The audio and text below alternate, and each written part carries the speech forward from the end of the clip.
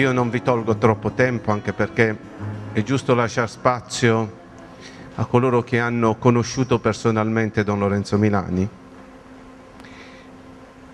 E, ehm, e credo che sia importante così porre una riflessione abbastanza puntuale su quello che oggi è Don Lorenzo Milani. Perché al di là dei ricordi che sono fondamentali per poter capire che cosa Don Milani ancora ci propone sotto questa variegata proposta di vita, dalla scuola alla cittadinanza responsabile, al senso della pace e della solidarietà, ancora una volta forse dovremmo riflettere su quello che oggi ci vuol dire. Gli interventi eh, che mi hanno preceduto, no? non ultimo quello di Padre Ottavio, ma quello anche della vicepresidente della regione, del cardinale, del, cardinale, del sindaco di Vicchio, mi danno l'opportunità di, com di comprendere ancora di più la grande attualità di Don Lorenzo. E il sindaco di Vicchio ha detto che non dobbiamo fare demagogia, è giusto. Forse dovremmo proporre qualcosa. Questo convegno che ansiosamente, no, da anni, si, si stava preparando, mi dà anche l'opportunità di comprendere che forse dovremmo pensare anche all'oggi e che forse oggi questo convegno va celebrato nel senso vero della parola. Io sono arrivato a Barbiana la prima volta in una fredda giornata di dopo Natale e ci sono andato con la macchina, non sono andato a piedi come i ragazzi, ma oggi amo dire, per i tanti gruppi che dopo ho portato, da quelli della mia ex parrocchia, delle mie due ex parrocchie, dove ho svolto il ministero, prima nella periferia della città di Bari e poi in un grosso centro di 12.000 abitanti, di un'unica parrocchia, che a, Bar- a Barbiana si va a piedi, non si va con i mezzi. Perché se si sale con i mezzi a Barbiana non lo si capisce Barbiana. E non lo si capisce perché quel giorno, forse quando Don Lorenzo è salito per la prima volta, trovando la strada ostruita, ha dovuto comprendere che la fatica doveva essere maggiore di quella che si poteva pensare. Quel giorno, quando sono arrivato a Barbiana, dopo di me, per caso, è arrivato Nevio. E con lui ho stretto un'amicizia che ancora oggi dura. A Barbiana il primo gruppo che ho portato erano ragazzini di scuola media di questa, di questa periferia della periferia di Bari, dove, dove le difficoltà non mancavano. Poi ci ho portato tanti altri gruppi, ci ho portato anche gli adulti della comunità. Ma quello che voglio dire è che da Don Milano ho imparato a scoprire come bisogna inventarsi sempre qualcosa di importante per stare dalla parte degli esclusi e dalla parte degli ultimi. Questi ultimi che ancora una volta bussano al nostro cuore, bussano alla nostra vita, bussano nost- non ai nostri sentimenti, perché Don Milani non era il sacerdote dei sentimenti, era il sacerdote del Vangelo messo in pratica. E se provo a pensare con voi, vorrei proprio pensare con voi questa mattina a quanto oggi siamo chiamati a fare sotto il profilo educativo, scolastico, legislativo e di irenologia, ancora di più comprendiamo che oggi Don Milani ci avrebbe rimesso intorno a qualche scanno di Barbiana per chiederci cosa noi siamo chiamati a fare. Provate ad immaginarlo, provate ad immaginarlo con me in questo momento, così come io l'ho visto dalle immagini, dalle foto, seduto e noi intorno a lui. Ci avrebbe chiesto cosa siete venuti a fare oggi qua. Cosa volete proporci oggi qua? Una semplice celebrazione di un nome dopo 45 anni? Che cosa oggi manca? Che cosa noi siamo chiamati a fare oggi? Qual è il grande problema dell'oggi? E allora torno indietro. Oggi noi viviamo la crisi di identità della persona umana, nella sua integralità, i nostri ragazzi hanno difficoltà a comprendere il senso della cultura, non del sapere, della cultura, dello stare, del condividere, del crescere.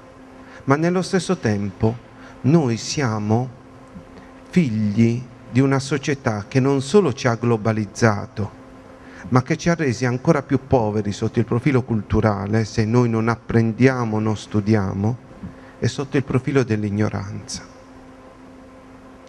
Se oggi noi parlassimo, così come Don Lorenzo avrebbe voluto, di unfound, titoli spazzatura, forse cominceremmo a capire che stiamo pagando i debiti di qualcuno che ha venduto debiti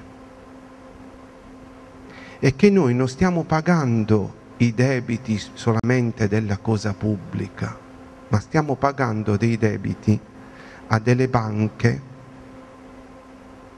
che hanno venduto a loro volta titoli spazzatura. Se provassimo a dire chi è il padrone delle nostre assicurazioni della macchina, delle nostre macchine, io non so rispondere. Quali sono i nostri padroni? Chi muove le file della nostra società oggi?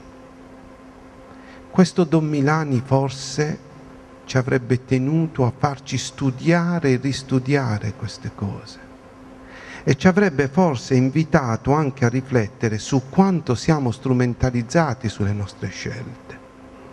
Certo, la piccola goccia di acqua nel grande oceano potrebbe non far senso, ma invece ha un senso. E noi oggi siamo chiamati a fare questo, a vivere in questo tipo di condizione e a renderci conto che se io ancora oggi mi impegno a favore dei senza fissa dimora, se oggi mi impegno a recuperare il ragazzo che aveva difficoltà nella scuola, penso all'esperienza che ho vissuto nella mia ex parrocchia, riproponendolo lo stile di Don Milani per il recupero dei ragazzi, perché i ragazzi più bravi studiassero insieme a quelli meno bravi, mi sono testimoni coloro che hanno visto di persona anche l'esperienza, che sono qui presenti, mi fa ancora di più comprendere che noi dobbiamo lavorare ed insistere su questo tipo di realtà. Ma alla fine ce ne andremo con, solamente con il gusto di dover dire abbiamo celebrato Don Lorenzo? No. E allora mi chiedo che cos'è che manca oggi? Qual è la grande crisi di oggi?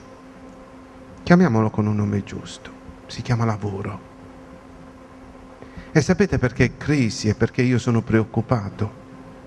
Perché lavoro significa che se non abbiamo lavoro non avremo famiglie, cioè non avremo bambini, non avremo più bambini che sono i datori di lavoro delle nostre scuole, perché un giovane non può mettere su una famiglia se non ha il lavoro. Questo è un dato di fatto. Lo dico sempre ai miei amici confratelli. Non possiamo continuare a fare un corso prematrimoniale nelle nostre comunità senza parlare di lavoro, senza parlare anche di un senso anche del vivere a livello educativo, perché anche la nostra Italia diventerà sempre un paese più vecchio.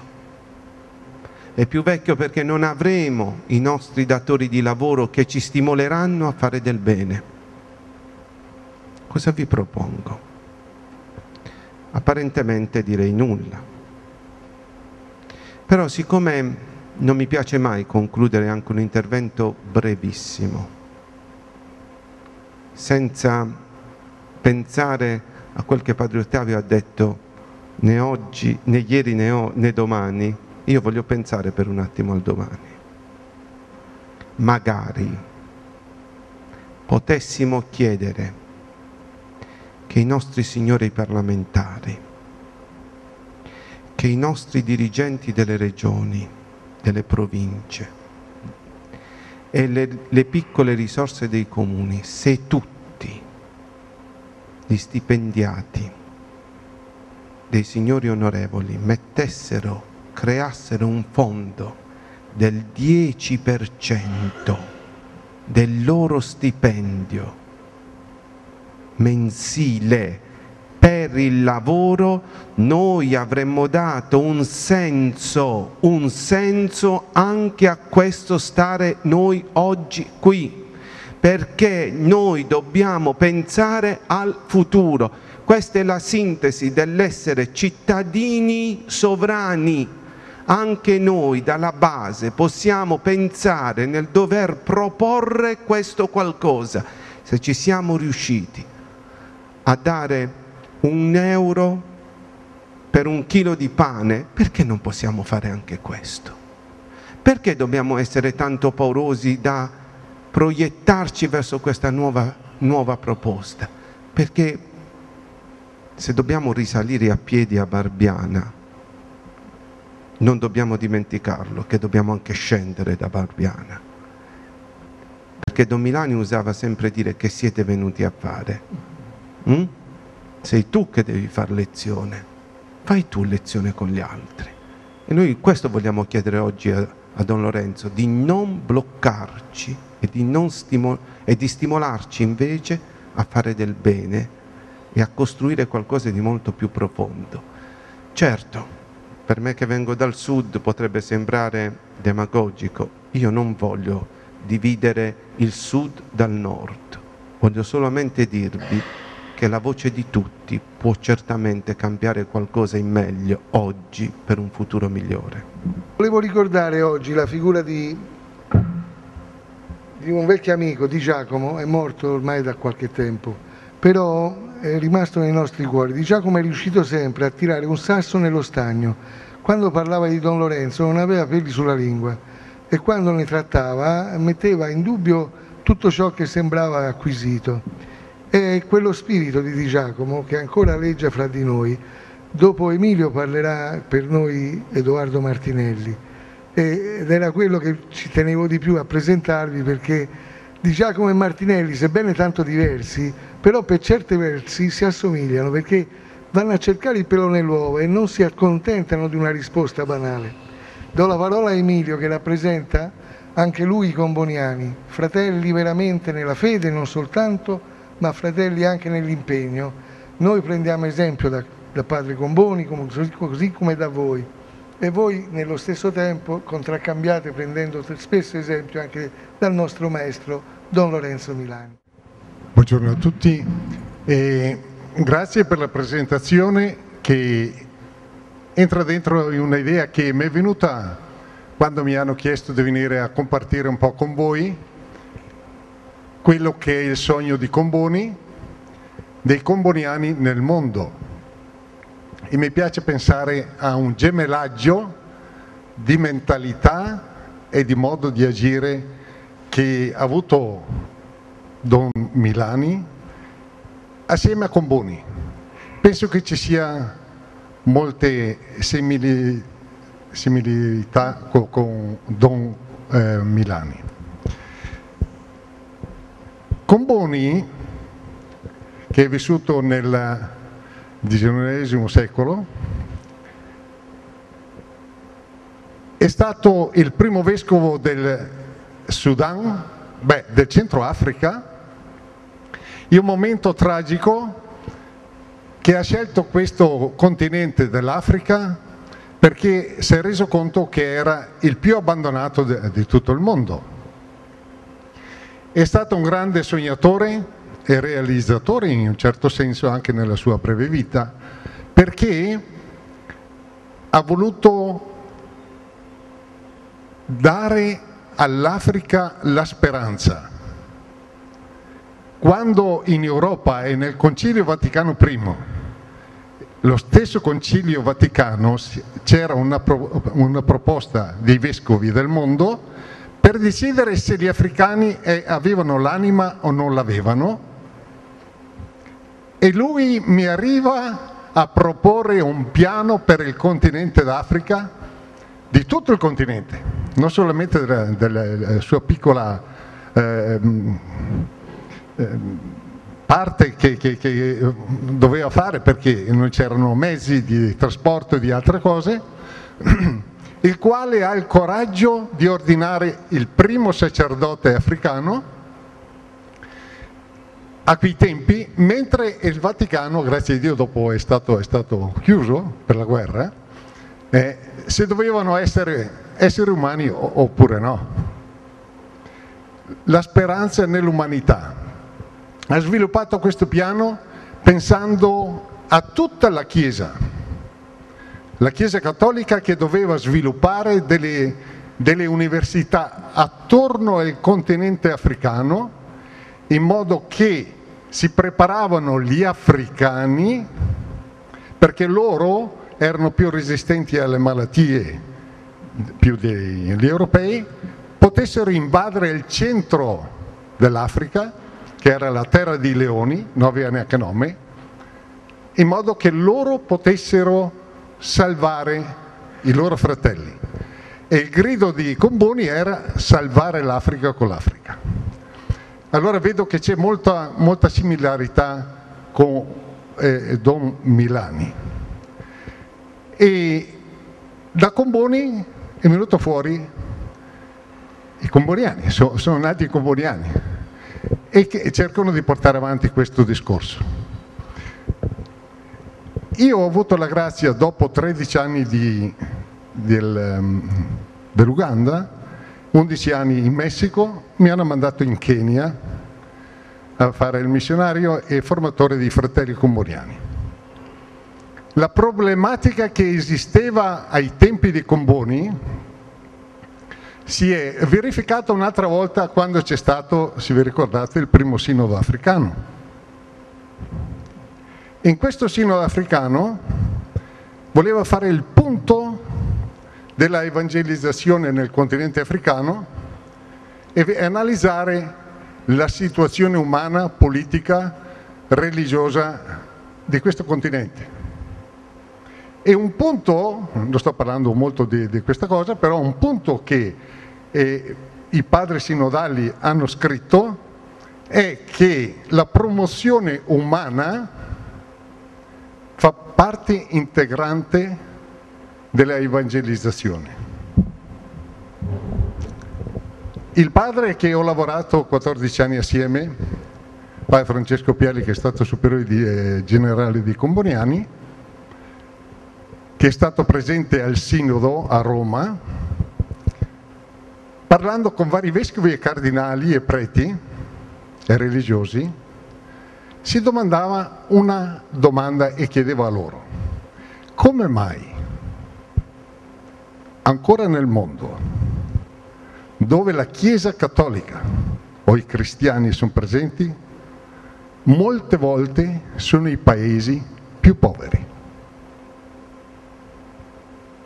Il Vangelo come ha influito, come ha trasformato quelle popolazioni, come ha sviluppato quei paesi in modo che arrivino veramente a portare la dignità umana a un livello molto più alto. E allora si è parlato che negli ultimi secoli la nostra Chiesa, anche cattolica, si è basata solamente sul sacramentalismo, il battezzare per salvare l'anima. Si dimenticavano che l'anima vive in un corpo, che deve avere una dignità questo corpo e la dignità di questo corpo dà dignità anche all'anima e viceversa. E allora questo pensiero ha portato che cosa? Perché noi evangelizzatori, che siamo mandati a evangelizzare, a portare questa buona novella, non riusciamo a trasformare l'umanità e darle la dignità. Abbiamo una umanità che vive ancora nel venerdì santo. Facciamo un cristianesimo, se voi andate in America Latina, un cristianesimo che si è fermato al venerdì santo.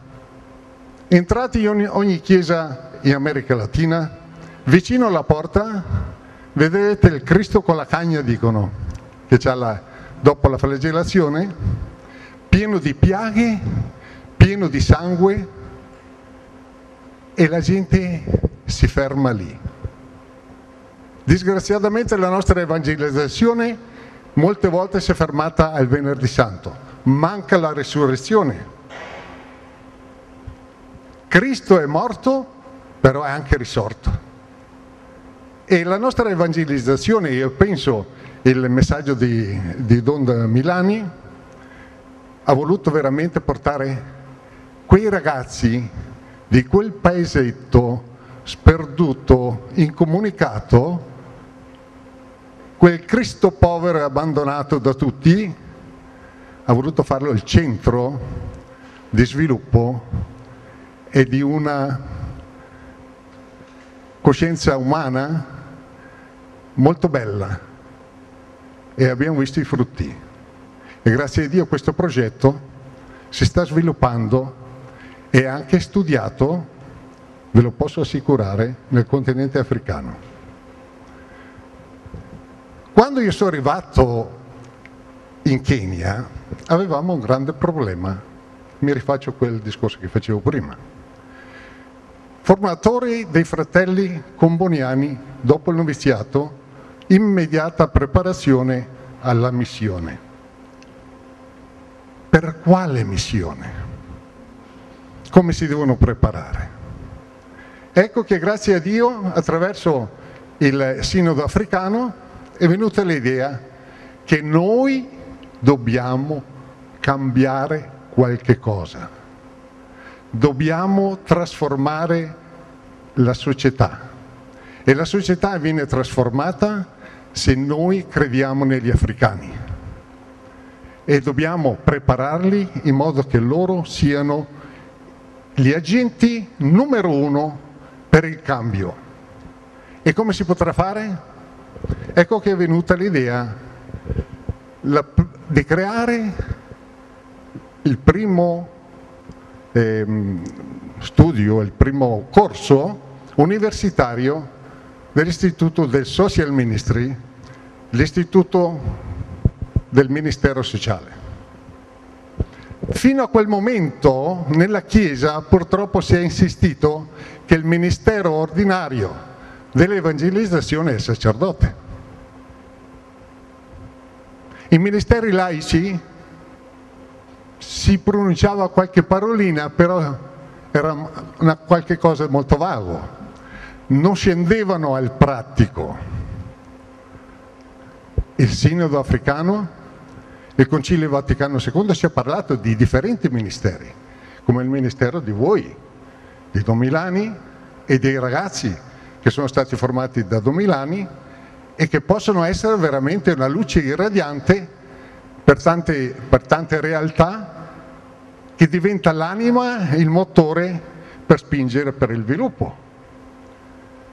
Ecco che noi abbiamo voluto incominciare questo corso universitario, che adesso è università e col dottorato, e abbiamo messo assieme tutti, tutte le congregazioni che avevano fratelli suore e abbiamo insistito nel seminario di Tangasa a Nairobi, che era solamente teologia, abbiamo voluto portare ragazze, ragazzi e la cosa più bella che dopo è successa, siamo riusciti a influenzare il presidente del Kenya, il generale delle, de, delle forze armate e della polizia perché alcuni capitani di, questi, di, di questo esercito facessero il corso del social ministry. Questo, questo istituto vuole partire da una cosa molto semplice. Noi fino a quell'ora come missionari andavamo in differenti parrocchie, in differenti realtà, in differenti parti del mondo, andavamo anche con soldi, arrivavamo come i, i, i, i salvatori dal punto di vista dell'evangelizzazione e anche dal punto di vista economico, dato che si arrivava in situazioni molto povere.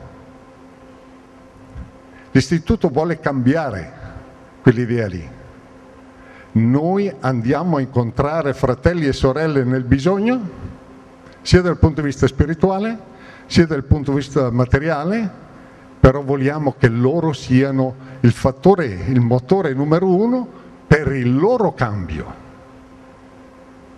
Ecco che abbiamo cominciato i progetti. Questo, questo corso vuole aiutare animatori, religiosi, sacerdoti, soldati, polizia, giovani, ragazze che dopo aver fatto il BA, la licenza universitaria, ritornino alle loro realtà, possono lavorare quattro anni nella loro realtà per cercare di trasformarla, provare l'idea per vedere se è valida, sempre partendo dagli ultimi, dai più poveri, dai più eh, bisognosi in modo che dopo possano fare anche il corso superiore del master, perché da questo punto possono arrivare i nuovi politici, le nuove persone che possono essere la direzione degli stati. Allora vi dico subito che, come ha provato Don Milani, è un lavoro improbo, tremendo, ci sono reazioni, la reazione normale che si incontra è di quelli che hanno fatto per gli ultimi 50 anni quello che stanno facendo oggi. È questa idea nuova, propulsora, che chiede a tutti gli agenti sia della Chiesa e sia della società che ci sia una trasformazione, una conversione, non per essere quelli che insegnano, ma per quelli che si mettono allo, allo stesso livello e al servizio perché veramente l'umanità che ha bisogno abbia la sua dignità. La realtà è che dopo alcuni anni abbiamo l'istituto pieno, 48 congregazioni religiose di missionari, di preti, di suore, molti laici, molte laiche che stanno facendo questo corso.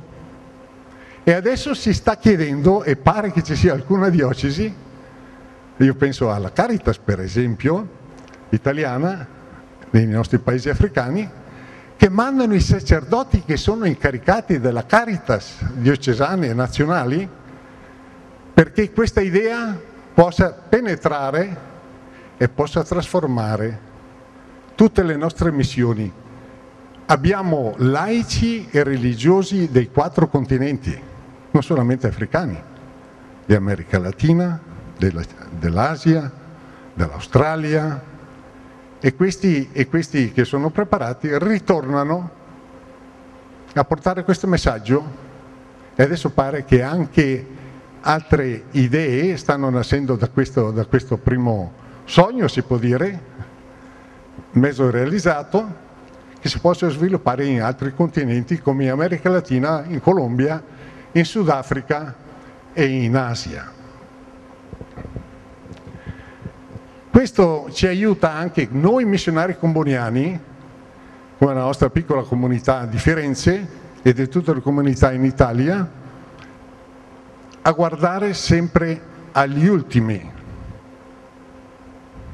e gli ultimi chi sono? Li avete già, li sapete meglio di me, e, sono gli emarginati, sono i rom, sono quelli che i nostri fratelli e sorelle che bussano alle porte dell'Italia e che vogliono avere, compartire la ricchezza che noi abbiamo avuta perché quello che siamo è dovuto tanto all'Africa, che è stata saccheggiata per tanti anni, e adesso bussano alla porta e speriamo che noi non gli chiudiamo la porta in faccia e li mandiamo indietro come qualche politico avrebbe detto, eh, come mitragliatrici o con le barche che sono tornate perché loro devono stare lì e noi dobbiamo stare qui.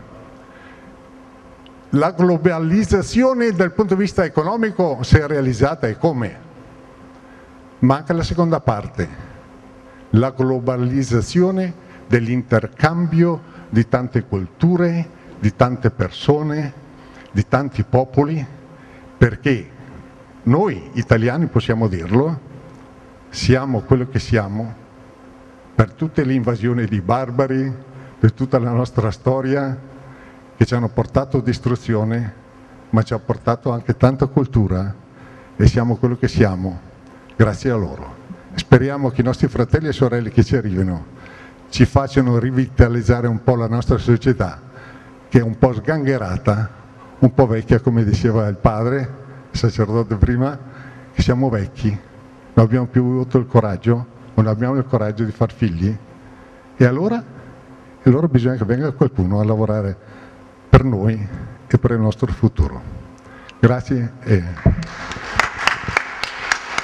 La parola a Edoardo. Grazie e devo dire che stamani dalle parole del sindaco ho avuto come un senso di speranza, no? perché eh, questa volontà no? di aggregarsi in un progetto comune penso che sia un po' insita in tutti noi del centro Don Milano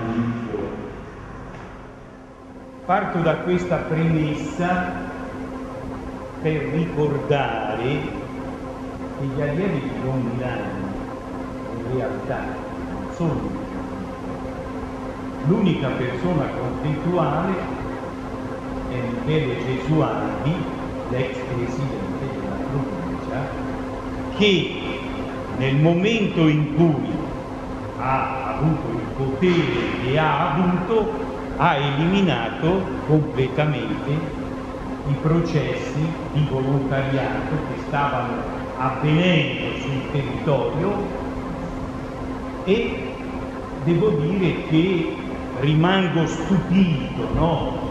che a distanza ormai di 12-13 anni ancora ci si ritrovi a dovere invece che affrontare un vero progetto no? eh, relativo a, alla scuola di Barbiana a Don Milani, si continui all'infinito a polemizzare no?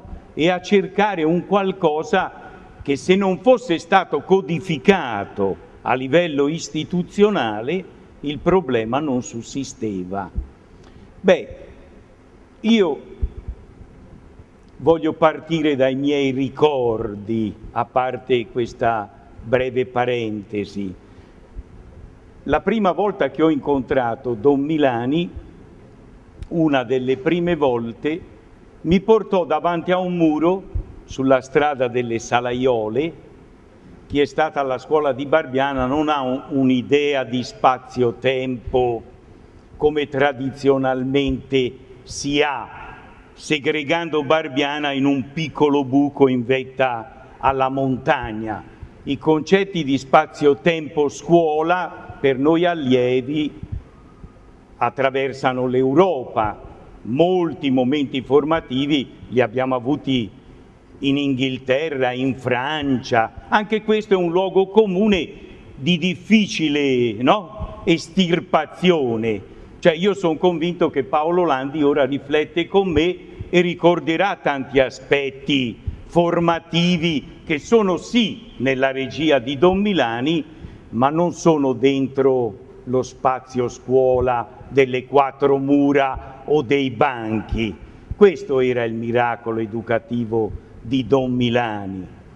Io la prima volta che ebbi una relazione con lui, lui mi domandò a bruciapelo se io avevo uno spazio tutto mio per studiare. E io ricordo anche che dentro di me mi domandavo chi fosse, cioè che senso avesse una domanda di questo tipo. Poi mi chiese cosa faceva mio padre. Beh, io vi dico la verità, la prima volta che andai a Barbiana, io a Barbiana non mi fermai, però successe il miracolo educativo più importante cioè io tornando a casa mi ripetevo le domande del priore e per la prima volta cominciai a riflettere seriamente con me stesso, trovando un'identità. Io credo che qui ci sia il nucleo fondativo del pensiero pedagogico di Don Milani, perché i tempi degli allievi a volte sono brevi. Don Milani è morto giovane. Noi, se si pensa a Don Milani, si pensa a un ragazzo, no? Gli abbiamo sopravvissuto non solo nel tempo cronologico, ma anche per età. Siamo tutti più vecchi di Don Milani.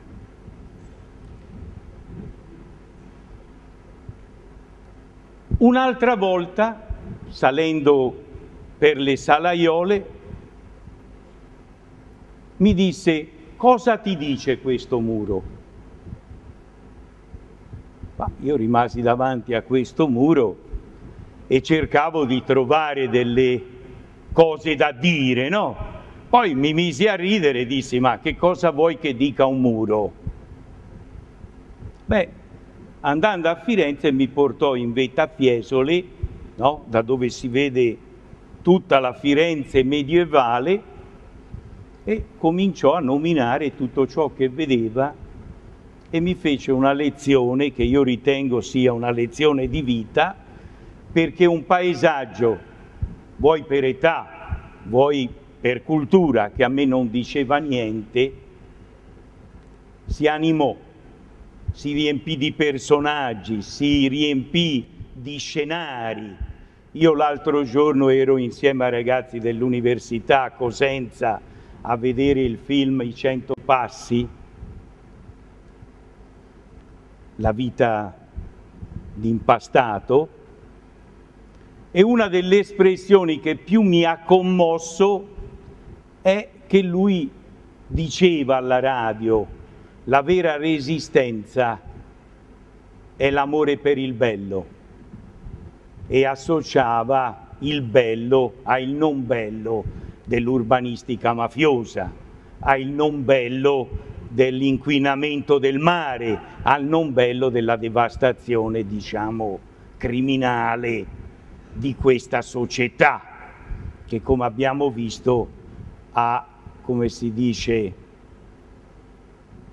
a volte il colore rosso della lupara, a volte però anche l'omertà bianca che uccide comunque perché blocca qualsiasi processo evolutivo.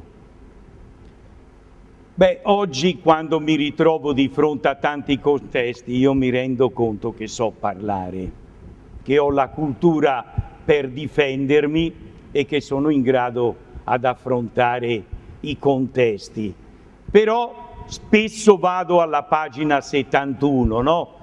La Riccia si domandava ma dov'è il padrone? Non so se ve la ricordate, la pagina 71 di lettera ad una professoressa che praticamente ha come titolo il padrone.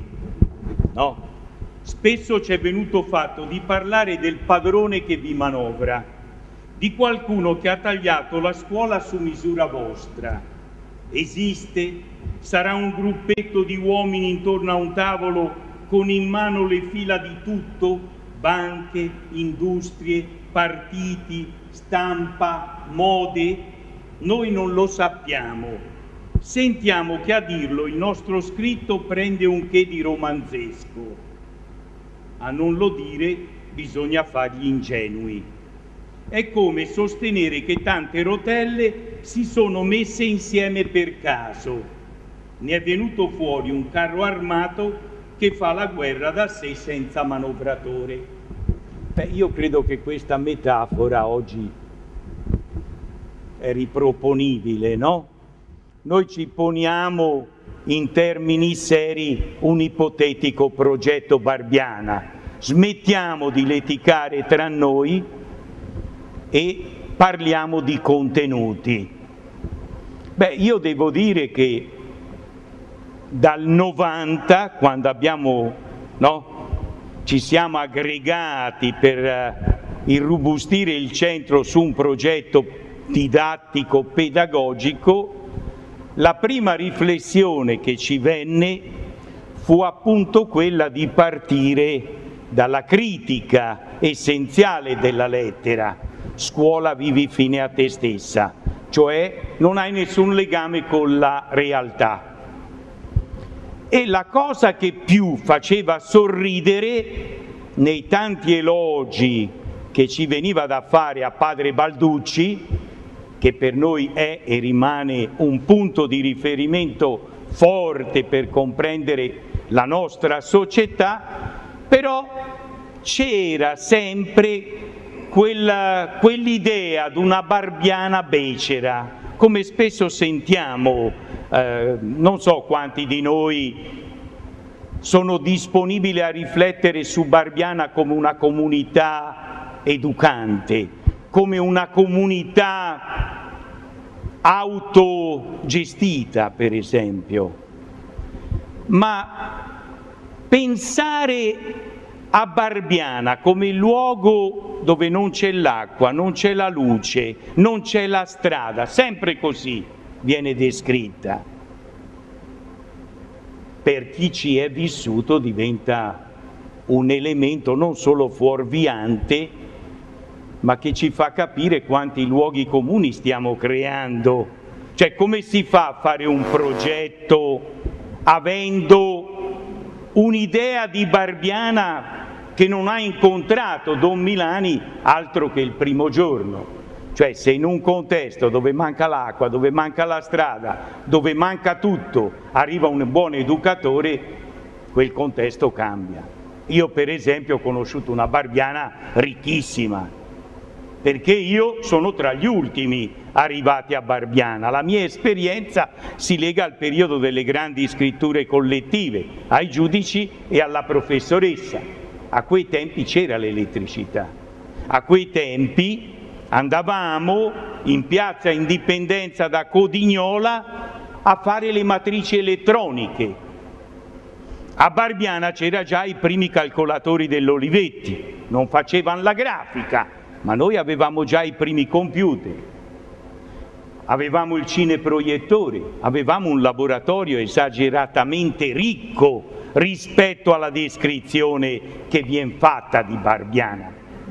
Ora, quando si va al museo di Barbiana, perché Barbiana è un museo, ora, con tutto il rispetto e i tanti punti di vista, no?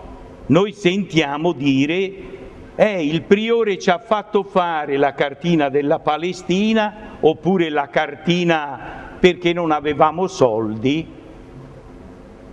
e quindi avevamo bisogno di...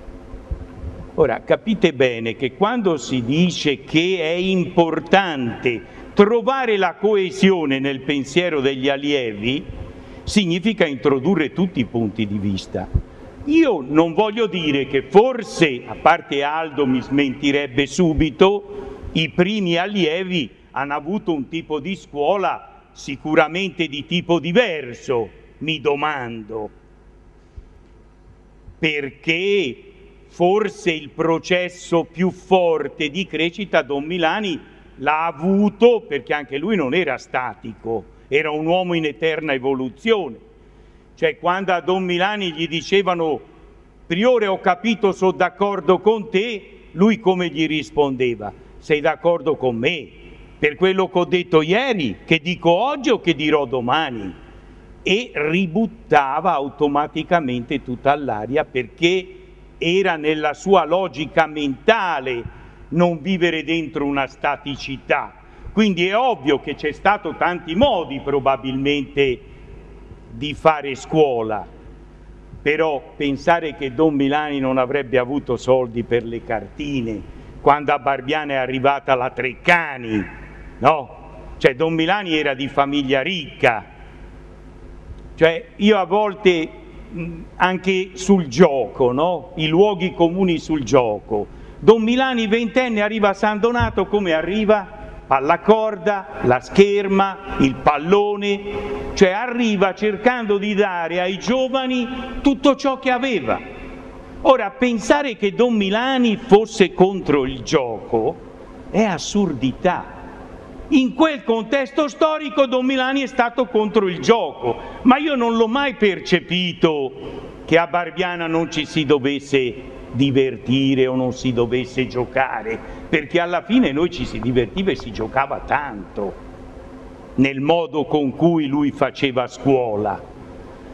Erano i tempi che erano aggressivi, guai a riproporre la Barbiana da allora, quando a 15 anni andavamo a lavorare e oggi abbiamo la gente che ne ha 30 e ancora non lavora. Quanti luoghi comuni ci fanno pensare a Barbiana in maniera conservatrice, stupida? Vogliamo parlare del tempo scuola? Qual è il tempo scuola reale? Il tempo d'attenzione o il tempo in cui scaldiamo i banchi? Io non lo so che analisi fate della scuola dell'adolescenza. Noi avevamo una scuola primaria che funzionava e in questi ultimi anni l'hanno rovinata avevamo una non scuola che era la scuola media.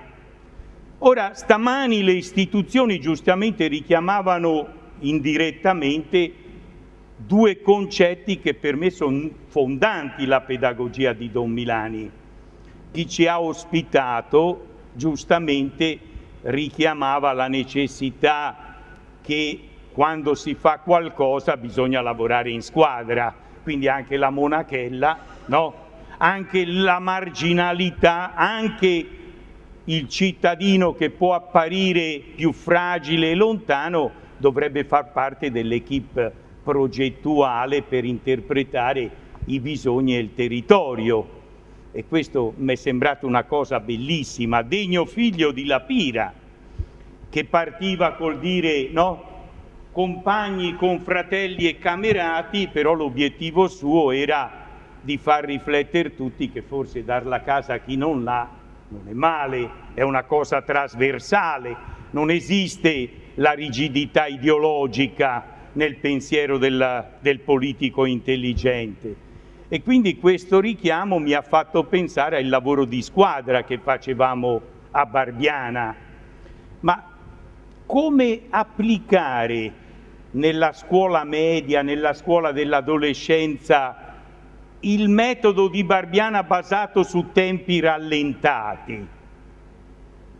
Cioè, per Don Milani il tempo era tempo d'apprendimento, cioè se i miei ragazzi stanno così tanto tempo nel campo impareranno altrettante cose, magari diverse, ma il tempo dell'apprendimento non è un tempo basato su questa autoreferenzialità scolastica.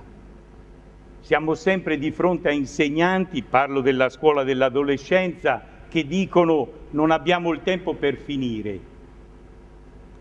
Siamo sempre pressati dal... No, questo non si può fare perché... Cioè, ma la scuola fondamentalmente è riflessione. Chi ha mai imparato una lingua studiandolo nell'orario della scuola?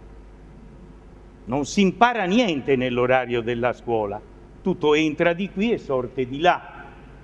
Si impara se nell'ambito della scuola troviamo degli educatori che ci motivano alla lingua.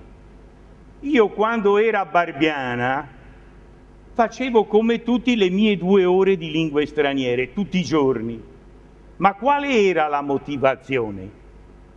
Il fatto che il priore ci dicesse bisogna studiare o i racconti che facevano i ragazzi più grandi quando si divertivano a farci vivere le loro esperienze in Francia, in Germania e in Inghilterra.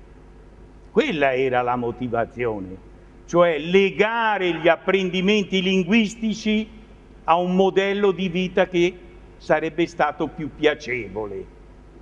Cioè, ma basta con questo Don Milani che non ride mai, io oggi ho il coraggio di raccontare un episodio che forse qualcuno rimarrà scandalizzato, ma penso che ormai siano tempi anche di dirle certe cose, un qualcosa che veramente in punto di morte quasi a me mi ha fatto sorridere. Ma questo per descrivere un Don Milani che tutti noi ricordiamo allegro, che non aveva tutto questa, no? Sì, era esigente, non c'era verso di scherzare nello studio, ma dire che non era piacevole e non ci si divertisse. Beh, Don Milani quando arrivò nella fase terminale aveva bisogno anche per pisciare. Quindi io col pappagallo ho dovuto prendere il pisello e infilarlo nel pappagallo. Era in uno stato esageratamente complicato da gestire. Beh, lui mi guardò, fece un sorriso e disse, ha visto Edoardo? A me ormai mi serve solo per pisciare. Questo, questo era Don Milani. Cioè anche nel punto di morte, nella sofferenza, trovava il modo di, di sfatare il contesto e di dare un senso alla vita e tutto diventava ironico e divertente, perché io in quel momento, nonostante il contesto e la situazione, mi fu normale ridere. Quindi pensare a un progetto nella scuola significa veramente andare alla radice delle problematiche. Cosa vuol dire oggi il tempo pieno. Cosa vuol dire oggi il tempo pieno? Oppure cosa vuol dire oggi non bocciare? Non che io sia per bocciare, per l'amor di Dio, però mi sembra che ormai le tematiche di chi è di sinistra o di destra si rivoltoli in, in, in problematiche che sono veramente marginali. Cioè a Barbiana non si bocciava perché si faceva una scuola seria, no? lo dicevano anche i direttori didattici, se voi sentite la conferenza del 63, Zangrilli cosa disse come domanda a Don Milani? Ma ce lo spieghi il miracolo di Barbiana che i ragazzi in difficoltà vengano un'estate su a Barbiana, tornano e hanno delle basi culturali serie? E Don Milani risponde con quella bellissima frase devo il miracolo di Barbiana a contadini, devo il miracolo di Barbiana alla cultura contadina, sobria e non permissiva. Ora, si è mai parlato di sobrietà nella scuola o di permissività in un contesto dove l'allievo ha un potere e non c'è più complicità con i soggetti sociali? Cioè come facciamo a fare un progetto Barbiana, ora a parte l'episodio del progetto Barbiana del Mugello, che voglio dire, quando dieci anni fa noi si diceva guardate che quest'uomo è stato condannato per abuso sui minori, per violenze sugli handicappati, io lo conosco di persona perché abitavamo vicino, io sono stato tra i fondatori del Forteto, sono uscito perché questo uomo era sessualmente aggressivo. Ora, capite bene che il progetto Barbiana è stato affidato a uno che è andato in galera per questi motivi. Ora, non per polemizzare, però noi da tanti anni abbiamo un progetto che va alle radici, ai nuclei fondanti la pedagogia di Don Milani. Abbiamo scritto dei libri l'hanno scritti anche al Forteto, cioè la famiglia funzionale non è un'invenzione di chi vuol far polemiche, c'è un libro che parla della famiglia funzionale.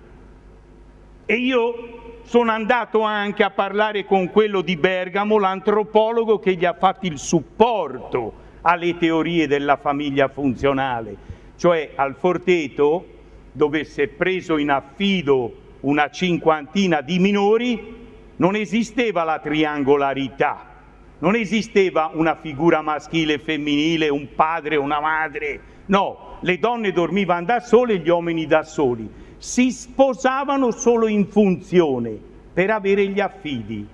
Ora, vi sembra normale? Vi sembra che si possa dare il premio, eh, come si dice, buona pratica a un contesto dove non esiste un doposcuola? c'è 50 figlioli, non c'è un dopo scuola? Insomma, io non è che voglio polemizzare quando su queste cose perdo la testa, Però è dieci anni che noi diciamo che quell'uomo non è degno di rappresentare Don Milani e oggi è in galera. Allora, se solo si fosse dieci anni fa privilegiato l'etica e i valori e si fosse anche ascoltato non quelli polemici, ma la maggioranza degli allievi di Don Milani, perché noi siamo il 95%, io ho fatto le statistiche. Cioè Michele rappresenta se stesso, la moglie e Agostino, perché Giancarlo, parliamoci chiaro. Allora, è un fatto di polemica volere rivendicare il diritto di produrre un progetto che va a compattarsi con le esperienze vive vere di un mondo che o viene mistificato oppure nello stesso tempo viene, oserei dire, strumentalizzato, perché quando si dice il padrone sembra inesistente, però io penso che anche l'indifferenza abbia un ruolo determinante. Noi oggi viviamo in una società dove è difficile dire volentieri io faccio di mestiere il politico. Quando io ero bambino era un onore essere un politico, come era un onore essere un sindacalista. Ma quando la polemica diventò poi fortissima a livello istituzionale, si legò ai famosi costi unitari. Lì veramente il sindacato ci ha fatto terra bruciata intorno. Ma parliamoci chiaro, come si fa a pensare di educare nella prossima società dove saremo più poveri con gli schemi logici mentali d'oggi? Sai che il costo unitario per ragazzo è 7.700 euro? Noi ironicamente si è detto, boh, noi si fa il co-co-co, io ho sempre lavorato nella sopravvivenza, a me me ne date tre, 7 per 3, 21 più gli spiccioli, chi li ha mai guadagnati? Giusto? Pago le tasse e ho tre ragazzi. Oggi l'assegnazione del macchinario, ironica l'espressione, è arrivata a 30 ragazzi per, per classe. Ora, pensate sia possibile risolvere il problema aumentando le tasse di chi non le pagherà perché non ha più redditi? Cioè se noi leviamo i dipendenti statali, quanti ce n'è nel famoso settore primario in grado di reggere la piramide che rischia di rovesciarsi? Ma vogliamo metterli piedi in terra? Cioè, Vogliamo avere il coraggio di considerare che se vogliamo educare domani anche quello che ha detto Don Milani, anche quelli che erano le logiche forti della scuola di Barbiana, oggi non hanno più senso, perché i ragazzi imparano più da soli su internet che nelle lezioni conflittuali a cui assistiamo nelle scuole medie. Perché non avere il coraggio di dire che la scuola media non è da riformare, è da eliminare? Ma non perché vogliamo ridurre le, gli anni di scuola, ma perché deve nascere la scuola dell'adolescenza. Quando la vicepresidente no, Targetti giustamente rivendicava l'anomalia, no? la stessa psicanalisi l'ha rifiutata, non c'è terapia quando c'è il coinvolgimento emotivo, certo, se le la Fiesoli è un conto, ma Don Milani era un educatore che ti toccava, che ti baciava, che ti dava, no? Che andava in profondità. E il coinvolgimento emotivo era un qualcosa che si avvertiva dentro, perché senza rapporto non c'è educazione. Ha ragione la Targetti. E anche questo è un nucleo fondante la pedagogia di Don Milani. Però c'è anche da dire che d'amore non si vive. Eh? Cioè, non credo che Monelli come Serra noi, io mi riferisco a quelli non nativi ma che come me sono venuti dopo.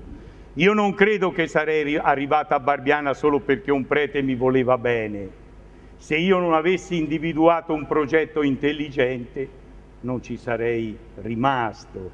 Quindi è ovvio che Barbiana va anche analizzata dal punto di vista metodologico e didattico e la relazione, se c'è soprattutto nella fase adolescenziale, è importante perché c'è la conoscenza, c'è lo scambio reciproco, c'è la fiducia, c'è l'identificazione.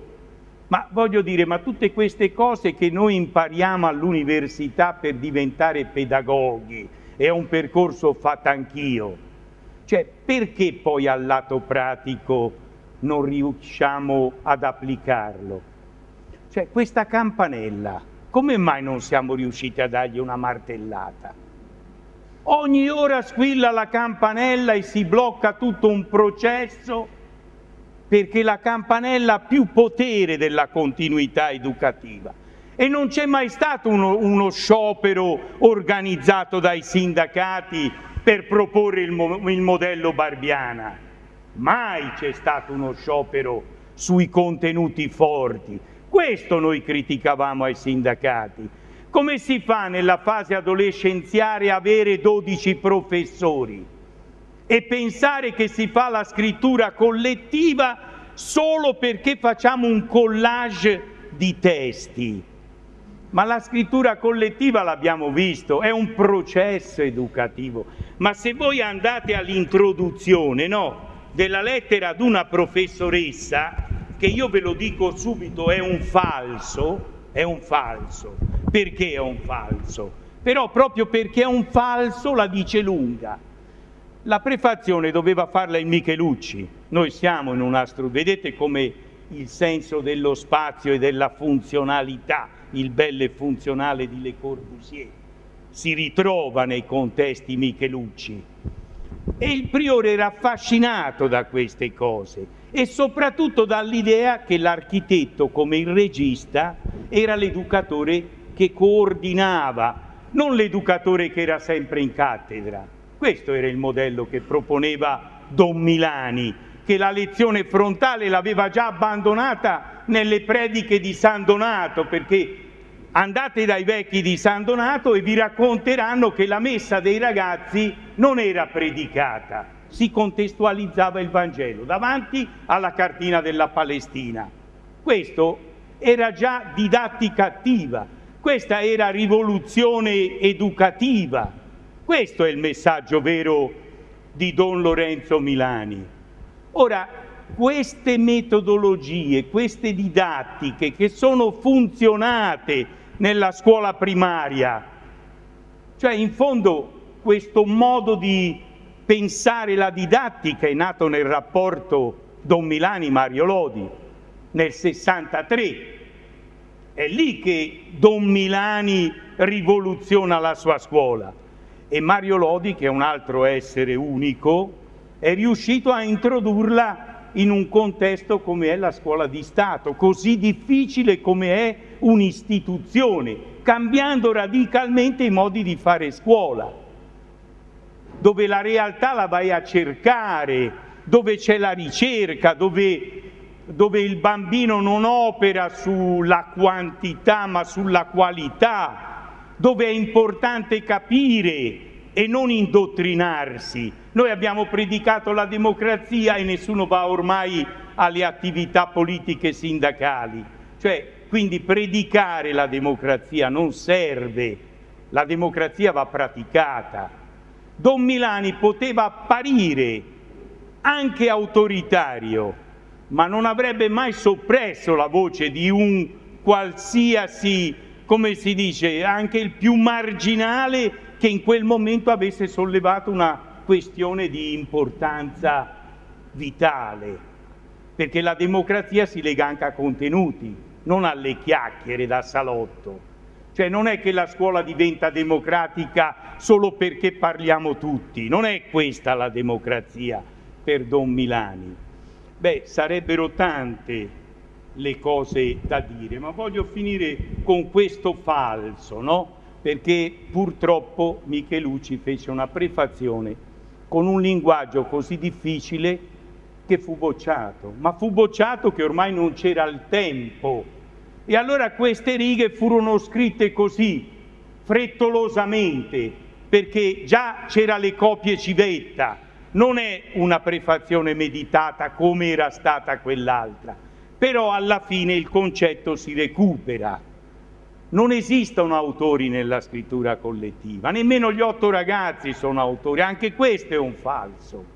La scrittura collettiva è frutto del processo educativo, non è né del maestro e non è nemmeno degli allievi, trascende il contesto perché ognuno mette il meglio di sé e il lavoro viene fatto in squadra, come diceva il eh, presidente di quartiere, senza dimenticare né la Monachella né i Gianni né, né no?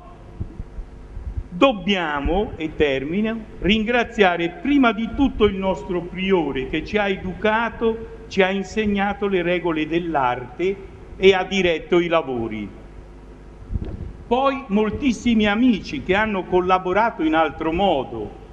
Per la esemplificazione del testo, vari genitori, per la raccolta dei dati statistici, segretari, insegnanti, direttori, presidi, funzionari del Ministero e dell'Istat, parroci, per altre notizie sindacalisti, giornalisti, amministratori comunali, storici, statistici, giuristi.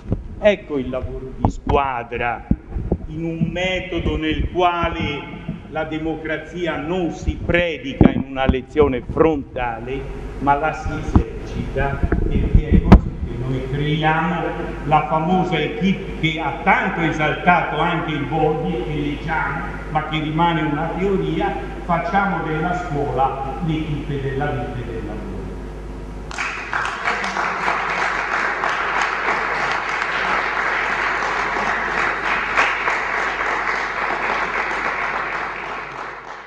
darei la parola volentieri, questa volta, a Mariotto Mariano. E no, ci tengo a dirlo perché Mariotto è un po' schivo, però Mariotto ha lanciato l'idea di movimento educatori milaniani. Questo diversi anni fa.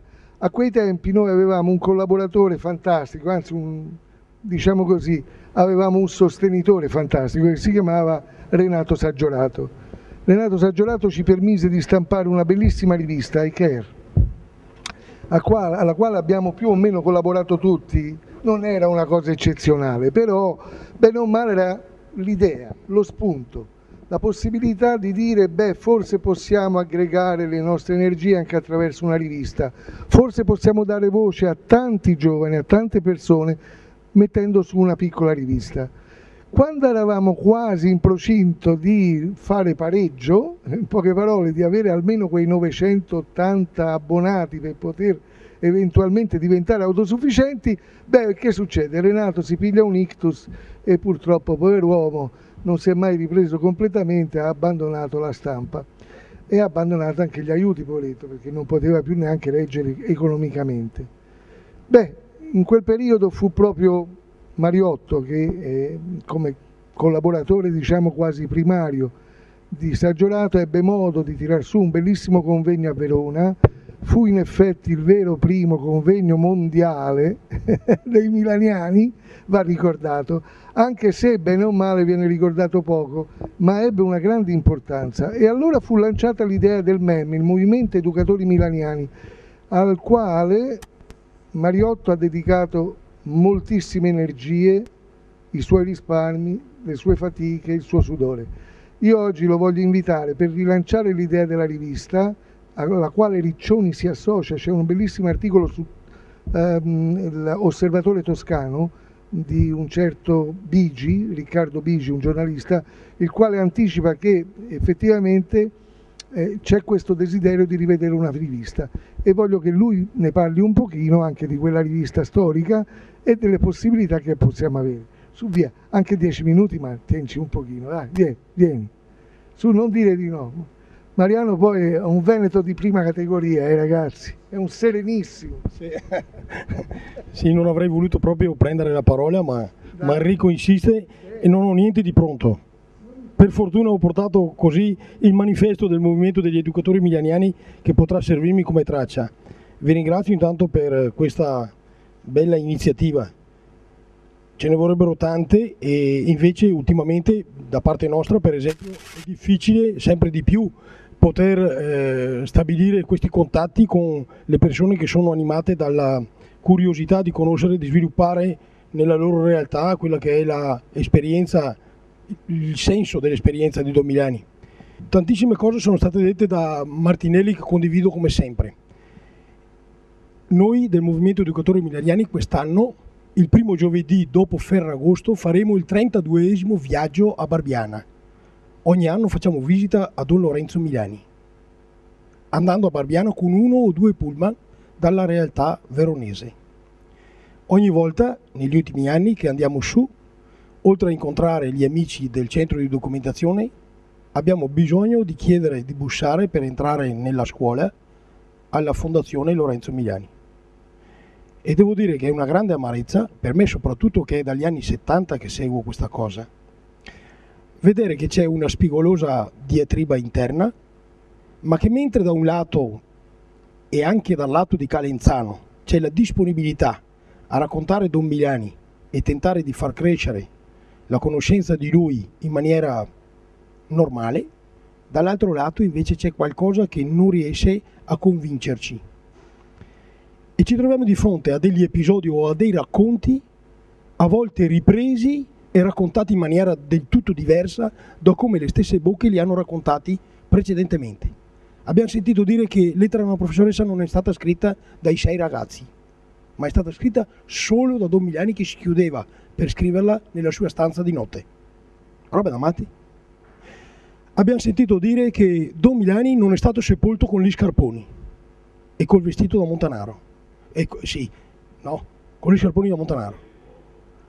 Ma questo, questo, questo, scusate, a me personalmente, scusate, a me personalmente è stato raccontato dico proprio due piccoli segnali. A me personalmente è stato raccontato da Gino Carotti, che è il suocero di Gesualdi, il papà di Giancarlo, col quale avevo un'amicizia strettissima, tant'è vero che quando è successo quello che è successo alla fine, dieci giorni prima lui mi aveva cercato dicendomi io ho cose di Don Milani, vestiario e altre cose sue, paramenti, e vorrei riuscire tramite te a consegnarli al centro di documentazione. Perché sentiva il fastidio che qualcuno volesse mettere le mani anche su quelle cose. E ritorno a una grande amicizia ancora che ho avuto con Di Giacomo, quello studioso ricercatore dell'esperienza milaniana che è, che è stato per me straordinario. Mi diceva, leggiti la prima pubblicazione di lettera a una professoressa. C'è scritto da Gesualdi là che ci sono mille lettere, probabilmente da pubblicare di Don Milani. E lì la prima, non lettera professoressa, la prima pubblicazione delle lettere e lì diceva è detto che ne vengono pubblicate 157 mi pare. Dove sono le altre, diceva di Giacomo. Ogni tanto ne esce una per fare una pubblicazione nuova. Diceva di più nella sua attenzione molto attenta. Se a quel tempo lettera una professoressa è stata venduta a 500 euro, a 500 lire a copia, ed è scritto che ne sono state vendute 8 mil- milioni.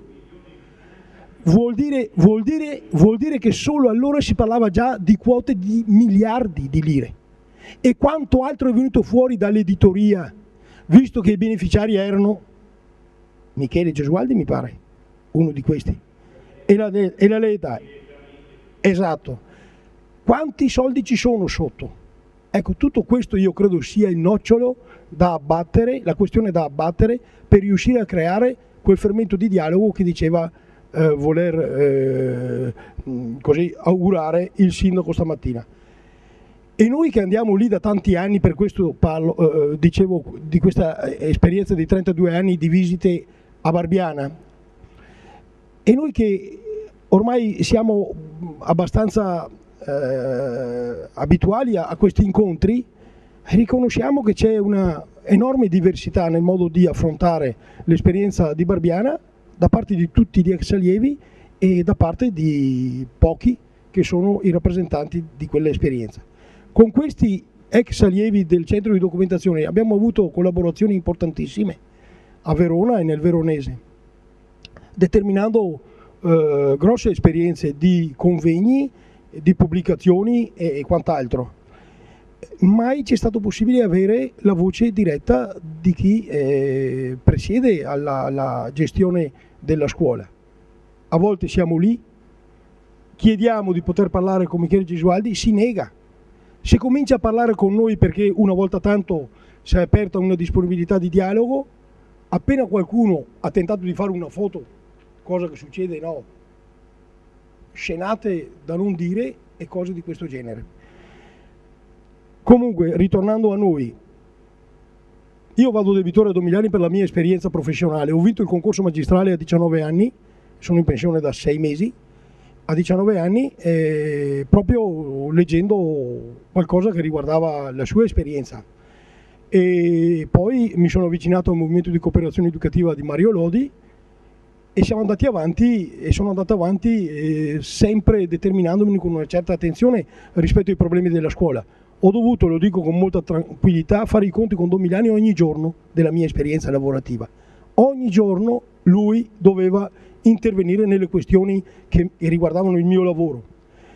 E così un po' alla volta, dopo i primi anni che si andava a Barbiana da soli o in piccolo gruppo, eh, siamo arrivati alla definizione di tentare di, fare, di costituire un, un gruppo più ampio senza guardare alle strutturazioni burocratiche, alle tessere, ai soldi, ok. L'adesione deriva dal fatto di partecipare almeno una volta a una delle iniziative nostre, che possono essere questa di venire a Barbiano oppure quelle che in loco cerchiamo di eh, frequentare promuovendo incontri, dibattiti e così via. L'esperienza più bella è durata il decennio dal 95 al 2006-2007, eh, l'anno in cui abbiamo fatto eh, omaggio a Mario Lodi, eh, richiamando con la sua presenza eh, tutta l'attualità del pensiero di Don Milani oggi nella scuola. Tutti i ragazzi di Barbiana che vedo qua, Nevio, Aldo, eccetera, sono venuti a San Bonifacio dove io vivo e opero e sfruttando anche la condizione che per un certo periodo ho assolto come lista indipendente e civica alla funzione di assessore ai servizi sociali e alla, cultura e alla pubblica istruzione, sfruttando anche il fatto che invece di spendere i denari nella cultura cosiddetta no, eh, che non dà eh, risultati e non promuove nulla, ho fatto in modo che fecondassero eh, convegni di questo genere.